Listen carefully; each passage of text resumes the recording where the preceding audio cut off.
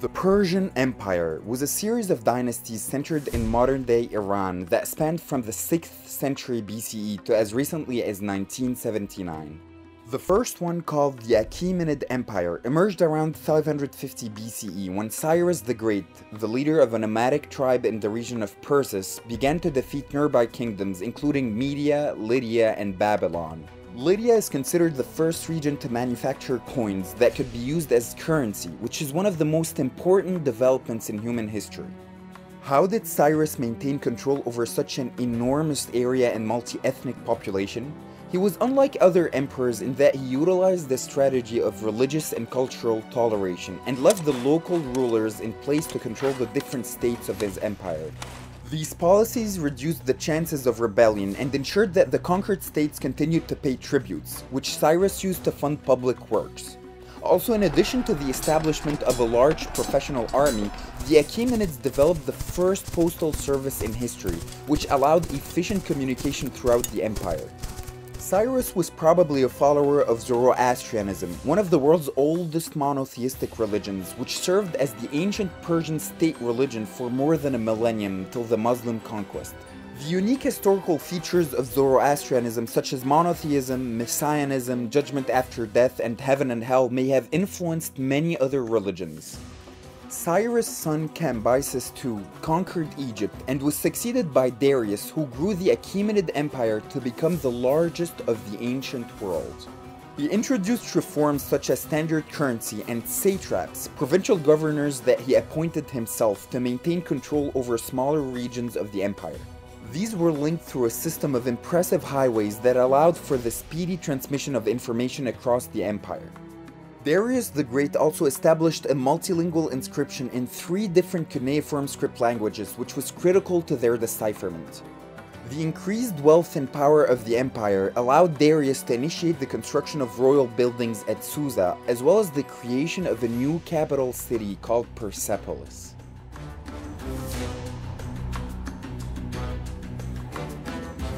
To demonstrate that he was a ruler of a diverse empire, he took the title of King of Kings and was featured as receiving tributaries from different peoples.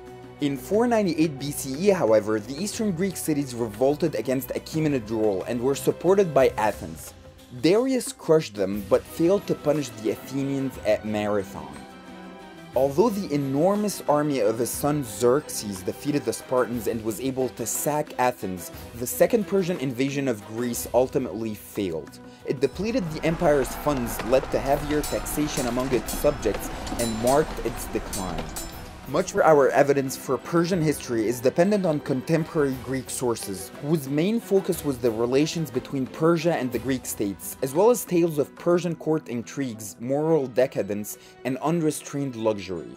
After 200 years of existence as a global hub of culture, art, and technology, the Achaemenid dynasty fell to Alexander the Great of Macedon, who was an admirer of Persian civilization and even took on Persian customs. Following his death, one of his generals, Seleucus, gained control of much of the Persian territory. The Iranian elites reclaimed power by the 2nd century BCE under the Parthian Empire, which was the arch enemy of the Roman Empire and limited its eastward expansion. Frequent civil wars brought an end to it as the Sasanian Empire rose and endured for over four centuries, it set out to restore the legacy of the Achaemenid Empire by expanding Iran's dominions and revitalizing Zoroastrianism. Most of its lifespan was however overshadowed by the frequent Byzantine Sassanian wars, which were part of the Roman-Persian wars. The war exhausted Persians lost against the Muslim Arabs at the Battle of Al-Qadisiyah, which was a turning point in Iranian history. Although Zoroastrianism gradually declined, many aspects of Persian civilization were absorbed and greatly influenced the new Islamic culture. Iran suffered particularly hard during the late Middle Ages due to many invasions of nomadic tribes including the Seljuks, Mongols, and Timurids. It was reunified as an independent state in 1501 by the Safavid dynasty, which set Shia Islam as the empire's official religion, marking one of the most important turning points in the history of Islam. Safavid Iran rose again as a world power that rivaled the Ottomans for hundreds of years, and then lost many of its territories to the emerging Russian Empire at the beginning of the 19th century. Iran had been a monarchy for about 500 years until the 1979 revolution when it officially became an Islamic republic. Besides its wealth and power, the greatest legacy of the Achaemenid Empire was perhaps the aggregation and mixture of various cultures under one tolerant rule. The empire also set the tone for the politics, heritage, and history of modern Iran.